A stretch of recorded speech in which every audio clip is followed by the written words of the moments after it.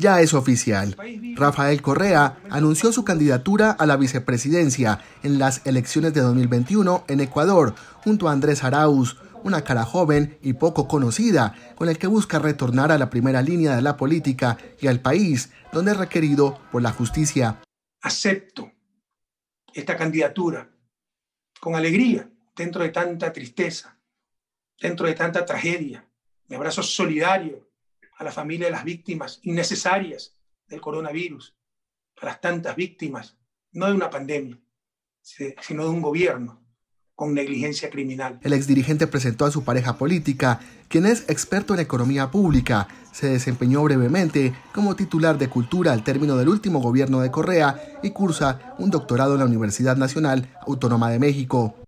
El país exigía y exige rostros nuevos. Y la Revolución Ciudadana cree en rostros nuevos. Eso hicimos durante 10 años. En el gobierno y fuera de él. Hemos continuado preparando los nuevos cuadros que tomen la posta, que continúen en la lucha. Arauz, por su parte, estuvo acompañado de miembros de la coalición que impulsa la candidatura Unión por la Esperanza.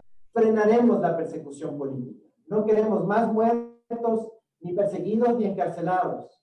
Desde ya comenzaremos a preparar una comisión de la verdad para investigar quién ordenó la represión brutal de octubre la candidatura política de Correa era esperada hacía tiempo por sus partidarios más inmediatos, que trataban de encontrar al candidato ideal para completar la fórmula.